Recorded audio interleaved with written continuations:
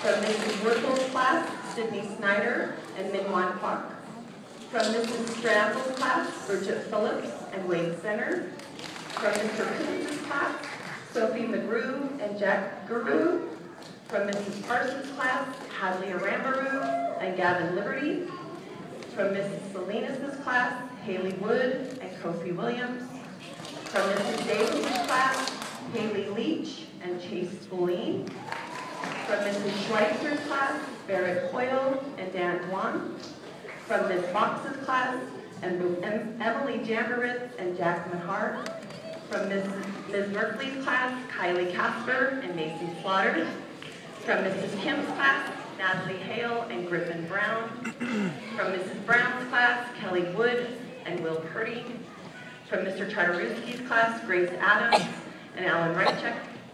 From Mrs. Martin's class, Lauren Foster and Eric Johnson. From Mrs. Matthews' class, Natalie Greener and Ryan Torres. And from Mrs. Foster's uh, class, Brian Gomez.